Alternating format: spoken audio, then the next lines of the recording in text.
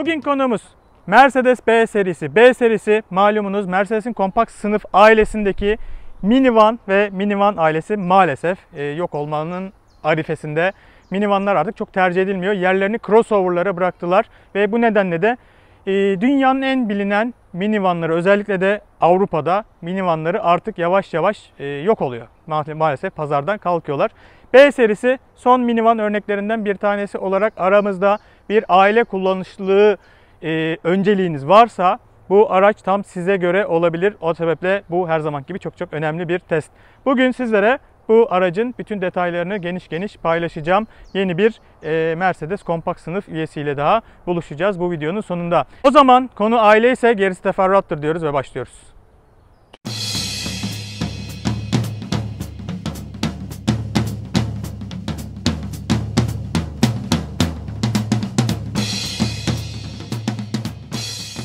Minivanların en önemli özelliği kompakt hatchback boyutlarında olmalarına rağmen çok daha fazla kullanışlık özelliği sunmalarıdır. B serisi de bu iddiaya sahip. A serisinden çok da farklı olmayan boyutlarla birlikte çok daha güzel mesela bagaj hacmi sunuyor. Bunu görmeden önce donanıma bağlı olarak yani cebinizden çıkacak paraya bağlı olarak ne kadar ekmek o kadar köfte e, böyle ayağınızın bir hareketiyle açılabilen elektrikli bagaj kapağıyla donatabiliyorsunuz B serisini. Bu kompakt sınıfta artık crossover'larda sıklıkla gördüğümüz bir uygulama ama B serisi de yeni geldi bu yeni nesille birlikte. Bu yüksek açılan bagaj kapağının altında 445 litrelik bir hacim var. Hacim size çok büyük gözükmeyebilir ama e, bir A serisinden çok daha büyük olduğunda dikkate almanız gerekiyor. Hacim gerçekten çok da kullanışlı. Bu araçta diğer e, kompakt Mercedes modellerinde olduğu gibi motor versiyonlarına göre farklı arka akslar var. Torsiyon çubuğu ya da çok kollu bağlantı. Ee, ve Mercedes çok kollu bağlantının hazırlığına rağmen nispeten düz bagaj duvarları oluşturmayı başarmış. Güzel bir mühendislik başarımı bu da. Bu sayede de sert valizlerinizle bile bu bagajı çok rahat kullanabileceksiniz. Değişken bir bagaj zemini var burada ve bagaj zemininin yüksekliğini ayarlayabiliyorsunuz. Eğer isterseniz e, düz bir zemin olarak kullanabiliyorsunuz. İsterseniz de bagaj hacminin tamamını kullanabiliyorsunuz. Bu zeminin altında da bir lastik tamir kiti var. Bu araçta Run flat lastikler olmamasına rağmen standart olarak lastik tamir kitiyle geliyor B serisi. Bagajı genişletmek isterseniz ne yazık ki e, bagajın içerisinde kollar vesaire gibi yardımcılar yok. Panzotu çıkartıp zemine koyduktan sonra ve koltukları da içeriden yatırdıktan sonra düz bir zemin elde, edebiliyorsunuz. E, koltuklar Normalde 40-60 yatıyor. Standart versiyonda 40-60 yatıyor. Ama farklı bir koltuk, arka koltuk seçeneğini işaretleyerek birazcık daha cebinizden para çıkartarak koltukları 3 parçalı yatırılabilir hale getirebiliyorsunuz. Böyle yaparsanız eğer uzun yükler içinde ortadaki koltuğu yatırabilirsiniz ve uzun yüklere mesela kayak takımı ya da mobilya alışverişinizdeki belki uzun yükleri kolayca bu araçta taşıyabilirsiniz. E, bu değişkenlikler minivanlara özgüydü eskiden ama artık crossover'lar da sıklıkla karşımıza çıkıyor. En azından bu bölümde minivanların gücünü gösterecek bir şeyler yapamıyor Mercedes B serisi. Bakalım arka koltukta bunu değiştirebilecek mi?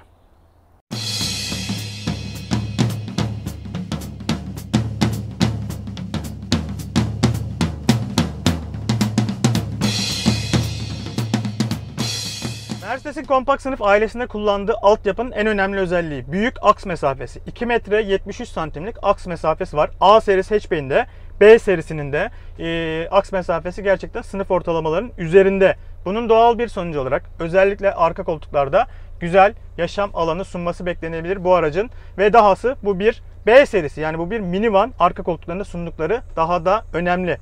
Benim boyum 1.75. Bu sürücü koltuğu bana göre ayarlı. Burada gördüğünüz gibi öyle çok ahım şahım bir diz mesafesinden söz etmek mümkün değil. Evet rahat bir diz mesafesi olduğunu söyleyebilirim. Dahası koltuğun altına doğru ayağımı rahatça sokabiliyorum. Hatta koltuk o kadar yüksek ki bayağı rahat ileri, ileri doğru itebiliyorum. Bu sayede biraz daha diz mesafesini görmezden gelebilirim. Baş mesafesi yönünden bu araç A serisinin yüksek tavanlı versiyonu aslında. Bakarsınız ve burada açılır bir cam tavan olmasına rağmen rahat bir baş mesafesi var. Ama bu baş mesafesi bile e, kaplamanın içe doğru birazcık girinti yapmasıyla elde edilmiş. Benden biraz daha uzun boylular burada rahat edebilir ama bir minivandan bekleyeceğiniz o muazzam alanı sunduğunu söylemek biraz zor Mercedes B serisi için. O zaman belki Mercedes özellikleri ağır basıyordur. Sunumlar çok güzeldir diye düşünebilirsiniz.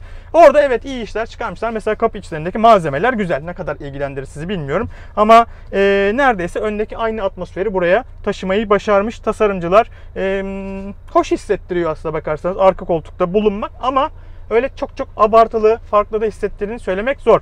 Saklama alanlarına geçeyim hemen. Güzel kapı içi sak, e, kapı içi cebi var. Hem yarım litrelik şişeleri çok rahat alır hem de ek birkaç tane eşyanız içinde yeri var. Fileli koltuk sırtlığı cepleri var. E, orta konsolda havalandırma çıkışı yok ama onun yerine ne koyacağınızı bilemediğim bir e, saklama alanı daha var ve altta bir çekmece var. Çekmecede hem bir küçük saklama alanı var. Yine çok çok kullanışlıya benzemiyor. Belki bozuk para koyarsınız, anahtar koyarsınız. Hem de iki tane USB portu var. USB-C ama bunlar. Yani normal USB portlarından biraz daha küçük, yeni geliştirilen, daha hızlı data transferi yapabilen bir USB portu türü pek kullanımda değil şu anda USB-C'ler. Gelecekte belki çok daha yaygın olacaklar ama şu anda değiller e, bulursunuz bulamazsınız. Bu size kalmış. Mercedes sizin için bir tane USB, USB-C dönüştürücüyü bu araçlarla birlikte veriyor. Dördünüz paylaşmanız gerekiyor. Bu araçtaki dört tane USB portu için e, o bağlantı, o dönüştürücüyü daha doğrusu.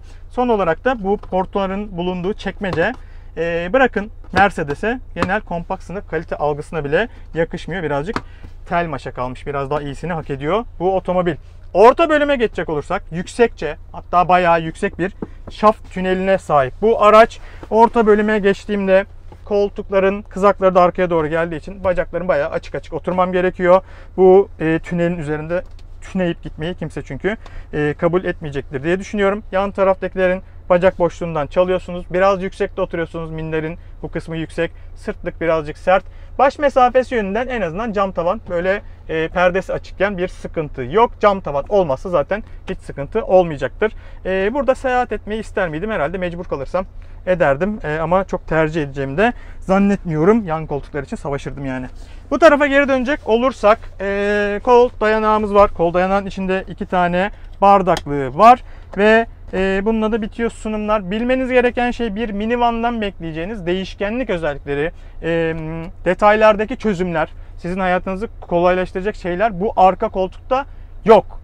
Ama eğer isterseniz parasını öderseniz alabiliyorsunuz. Değişkenlik özelliklerini kızaklı arka koltukta donatabiliyorsunuz. Mercedes B serisini bunun B serisinde standart olarak sunulması gerekirdi. Yoksa minivan almanızın hiçbir anlamı kalmıyor zaten. O değişkenlik özellikleri de olmadığında bu da aklınızın bir kenarında bulunsun. Bence Mercedes açısından bu çok çok büyük bir hata. Buraya e, güzel değişkenlik sunan fonksiyonel bir koltuk şartmış. Bu gerekliydi bir minivanda.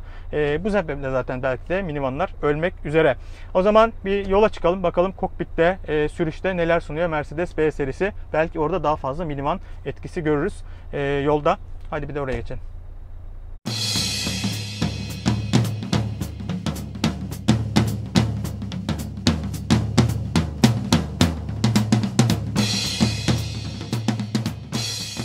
Şimdi de Mercedes B serisinin direksiyonundayız. Ee, önce size birazcık kokpitten bahsedeceğim her zaman olduğu gibi.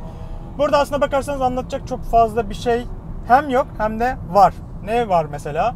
Buradaki kalite algısı var öncelikle. Mercedes gerçekten de bu sefer Yıldız'ın hakkını verecek bir kokpit kullanmaya başladı. Kompakt sınıf üyelerinde. Burada da aynısını hissediyorsunuz. Kullanılan malzemeler e, evet artık yaygın olarak kullanılıyor. Kompakt sınıfta bile böyle kaliteli malzemeleri çok sık rastlıyoruz. Ama onların kullanılış biçimleri, onların dağıtımı, onların yerleştirilmeleri gerçekten de Mercedes'in farklı olduğunu hissettiriyor. Birazcık kişisel konular bunlar tabii ki ama benim gerçekten çok hoşuma gidiyor bu kokpit yapısı.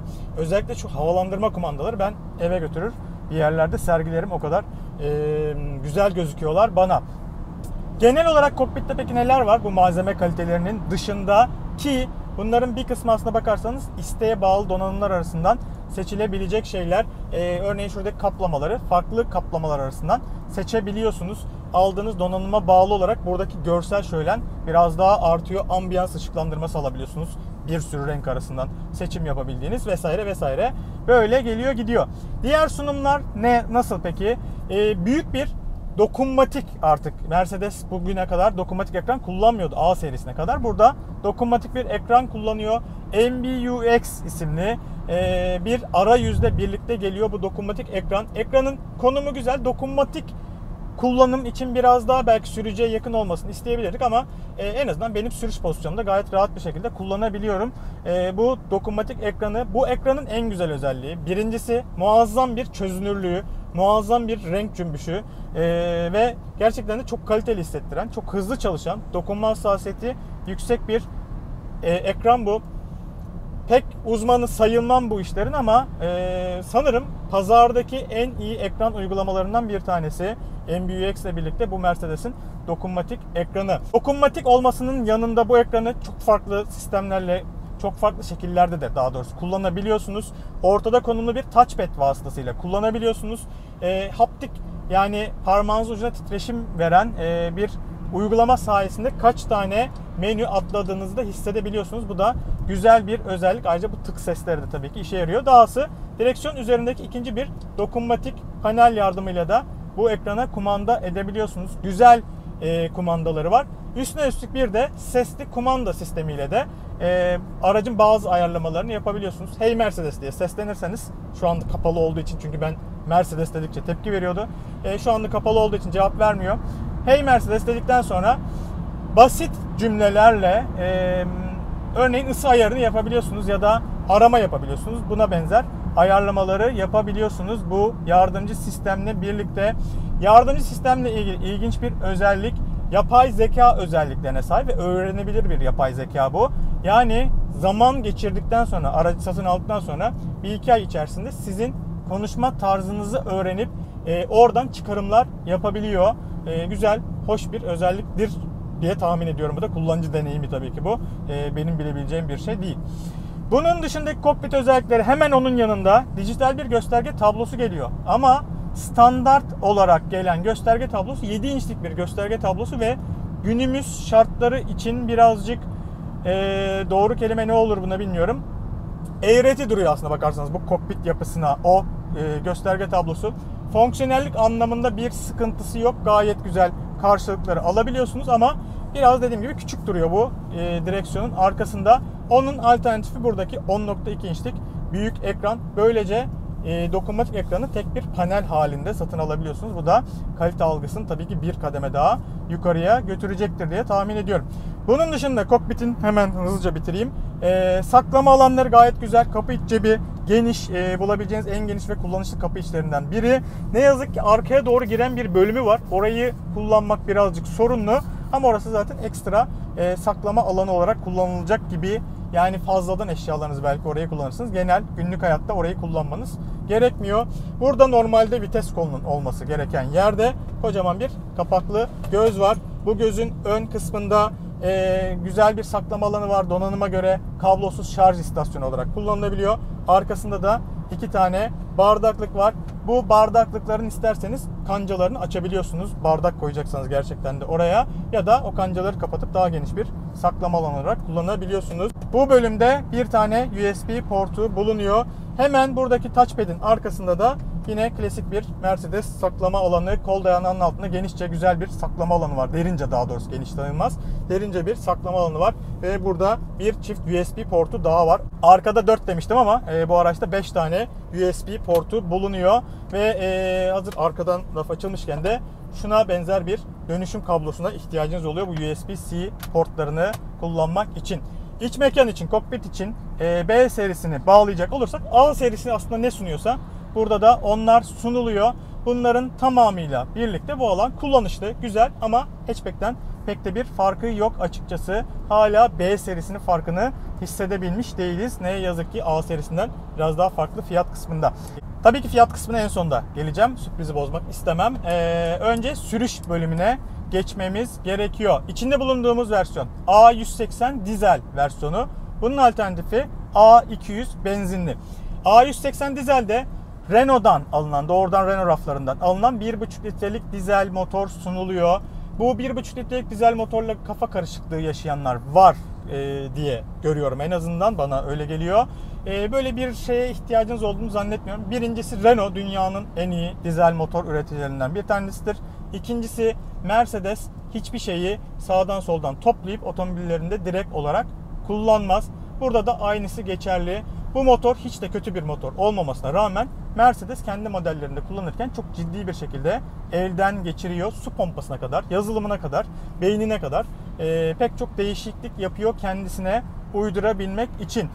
Yani burada bir e, Mercedes motorundan söz ediyor e, sayabiliriz kendimizi. Peki neler var? 116 beygir güç ve 260 Nm tork üretiyor. Bu motor rakamsal olarak baktığınızda hacim sınıfının biraz gerisinde kaldığını söyleyebiliriz. E, ama bunun sorununu, bunu sorun olarak algılamanız için bir neden yok ortada.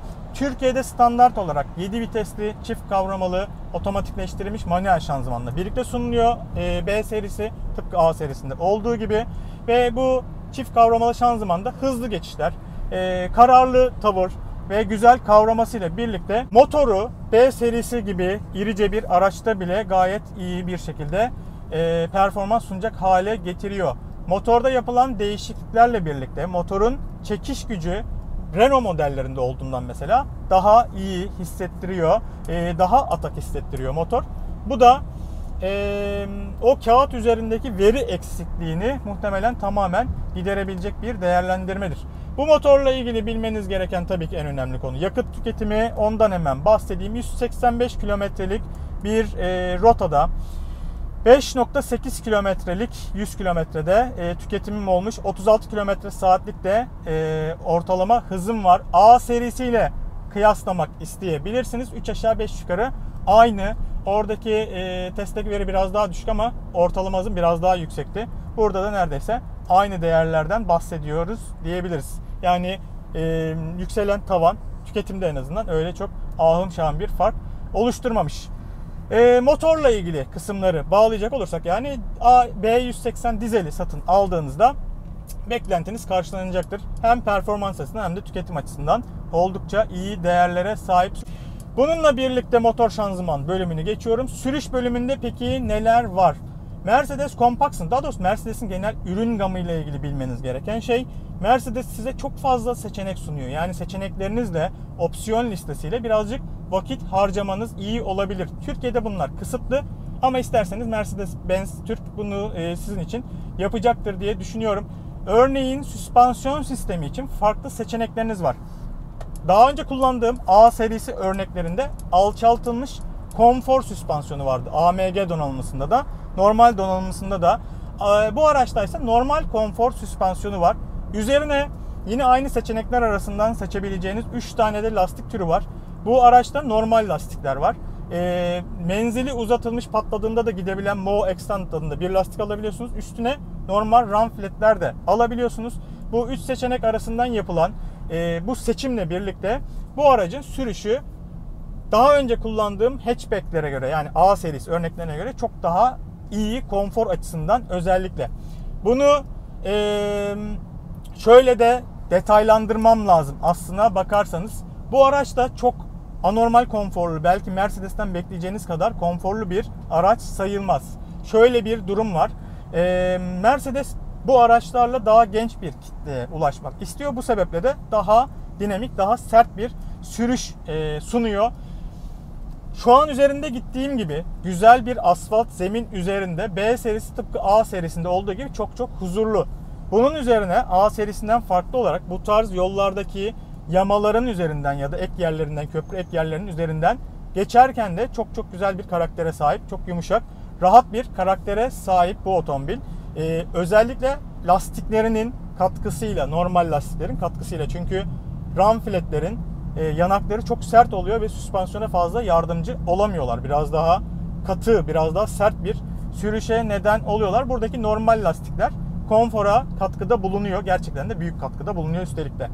Ama enine darbelerde, enine yol bozukluklarının üzerinden geçerken bu otomobilde kardeşleri gibi kuru e, ve sert tepkiler veriyor.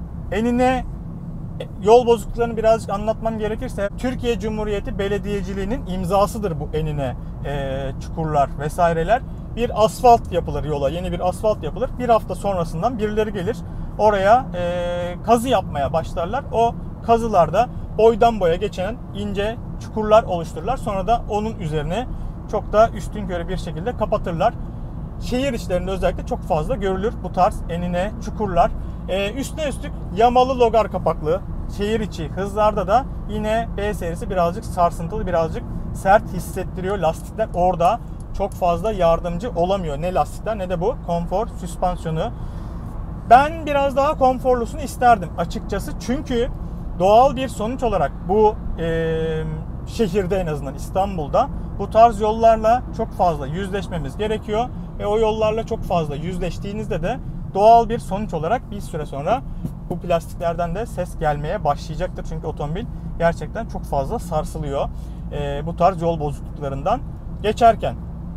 Konfor konusunda yine e, bir Mercedes beklentisine ulaşamıyor bu kompakt sınıf üyesi de e, herhalde çok da fazla umutlanmamak gerekiyor konfor konusunda önden çekişti Mercedeslerden. Diğer konfor unsurları tabii ki önemli. Sessizlik vesaire. Bu aracın çok başarılı bütün e, Mercedes kompakt sınıfın çok başarılı aerodinamik özellikleri var. 0.26 CV yanlış hatırlamıyorsam bu aracın da e, aerodinamik kat sayısı ki bu tarz bir araç için oldukça iyi bir değer. Arka tarafın tamamen düz indiğini düşünürsek, oradaki girdapları düşünürsek bu düşük e, direnç kat sayısına rağmen birazcık rüzgar sesi alıyor. Özellikle üst taraflara rüzgarın vurduğunu hissedebiliyorsunuz. Lastik gürültüsü neredeyse hiç almıyor. Bu güzel bir özellik. Yine bu lastiklerin katkısı var. Ramfletlerle biraz daha fazlaydı. Ve onun dışındaki dışarıdan gelen sesler de güzel izole edilmiş iç mekandaki huzur ortamı genel anlamda. Ee, çok hız sınırları zorlanmadığı sürece gayet iyi diyebiliriz konforun öteki tarafında da. Yol tutuş, dinamik sürüş. Belki bir minivandan beklemezsiniz ama bu araç gayet iyi yol tutuş özelliklerine sahip. Bu normal konfor süspansiyonu nedeniyle muhtemelen ve biraz daha tabi ağırlık merkezinin de yükselmesinde etkisi vardır. A serisine göre gövde hareketleri daha belirgin. E, direksiyonu çok güzel ayarlanmış. Hem geri bildirimleri oldukça iyi hem hızı oldukça iyi. Düz konumdaki hisleri gerçekten güzel. E, ve park manevralarındaki hafifliği de gerçekten güzel. Bu direksiyon sisteminin böyle baktığınızda sürüş açısından genel özelliklerinin iyi olduğunu söyleyebiliriz. Sadece dediğim gibi bu konfor eksikleri artık herhalde Mercedes kompakt sınıflarını böyle satın almak gerekecek. E, bunu kabullenerek satın almak gerekecek. Sürüşle ilgili sanırım sona geldim. Bağlayacak olursam bir genel olarak sürüşle ilgili bölümü e, sonuca bağlayacak olursam A serisi gibi hissettiriyor. 3 aşağı 5 yukarı A serisinde bu bileşenlerle donatsak muhtemelen aynı sürüşü elde etmiş oluruz. Yani e, kokpit ile birlikte sürüşünde de bir minivan özelliği yok ki sürüş açısından baktığınızda bu iyi bir özellik diyebiliriz. Yüksek tavanlı bir araç olduğunu çok güzel bir şekilde gizliyor. B serisi bu açıdan oldukça başarılı. Güvenlik konusunda bir Mercedes'ten tabii ki beklersiniz iyi güvenlik özellikleri. Çarpışma güvenliğinde iyi puanlar almış. Bu otomobilde 7 hava yastığını standart olarak sunuyor. Diz hava yastığı standart olarak geliyor. Aktif güvenlik donanımları açısından çok zengin bir menüye sahip ama parasını ödediğinizde geliyor. Standart olarak gelmiyor. Bunlar da ve bu menünün içerisinde çok ilginç bir özellik var. Aktif kör açı algılayıcısı var. Bu araçta e, İstanbul trafiğinde birazcık bunu dalga geçmek için söylemiyorum. Lütfen yanlış anlamayın beni. Travma sonra stres bozukluğu yaşıyor. Yani bu e, bir büyük bir kaza geçirmiş olanlar bilir bunu. Ben de biliyorum. E, o kaza sonrasında birazcık gergin olursunuz. Direksiyon başında da e, aracın içerisinde de gergin olursunuz. Bu araç da öyle davranıyor birazcık e, bu sistemlerle birlikte. Özellikle bu aktif kör açı algılayıcısı çok enteresan fren müdahalelerinde bulunuyor. Biz İstanbul'da birazcık garip araç kullanıyoruz mecburen. E, çünkü herkesin acelesi var. Acelesi olmasa bile e, ve trafikte sürekli böyle gittiği için pek bir anımızı boşa harcamak istemiyoruz diyeyim ben e, iyi bir şekilde dillendirmek adına bunu ve bunları gerçekten e, büyük tehlikeler olarak algılayabiliyor. Sert müdahalelerde bulunabiliyor. Kötü bir şey olduğunu düşünmüyorum ama bir süre sonra rahatsız ediyor. Kapatmak zorunda kalıyorsunuz bu sistemleri.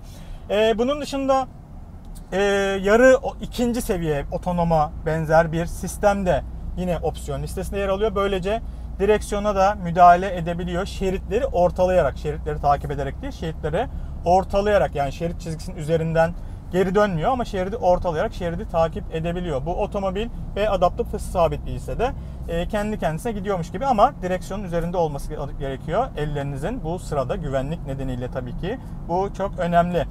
E, bunun dışındaki güvenlik özellikleri ISOFIX Kanalları örneğin güzel plastikle korunmuş. Yani çok rahat bir şekilde çocuk koltuğunuzu takabileceksiniz. Bir minivan için bu önemli bir özelliktir. Bunu da atlamayayım. Ee, bunun dışında genel Mercedes özellikleri var güvenlik açısından baktığınızda. Fiyatlar bölümü tabi orada da genel Mercedes özellikleri var. Bugün e, 25 Haziran 2019 230 bin lira civarından başlıyor fiyatlar ve e, 250 bin lira civarlarına kadar da yükseliyor standart fiyat listesinden bahsediyorum Türkiye paketiyle. İsteğe bağlı donanımlarla birlikte 350'dir 400'dür artık gidebildiğiniz yere kadar gidebilirsiniz. Bu küçük hacimli motorlarla dahi e, isteğe bağlı donanım listesinde satın alabileceğiniz bir sürü donanım var. Gerçekten de e, para harcayabilirsiniz. Orada ki herhalde Mercedes müşterileri de harcıyordur diye düşünüyorum.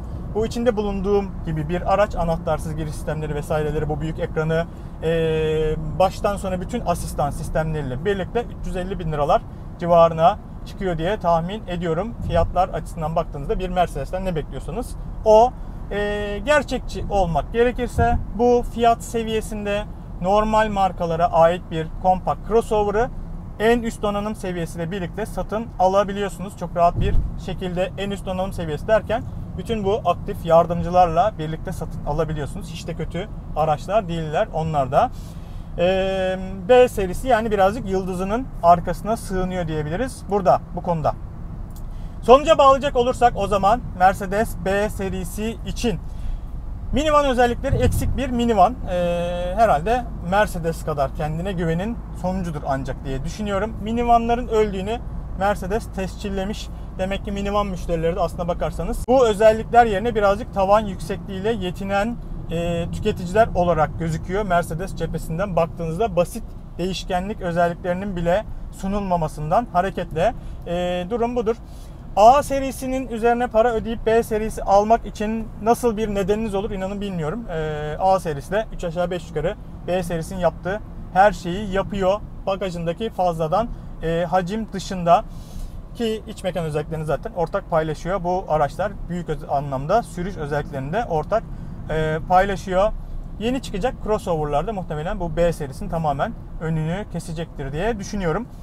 E, sonucunda sonucuna bağlayacak olursak minivanlar için e, pek de hoş olmayan bir sonuç bu. E, ben çok seviyordum kendilerini minivanları aslına bakarsanız. Çok da üzülüyorum minivanların yok olmasına.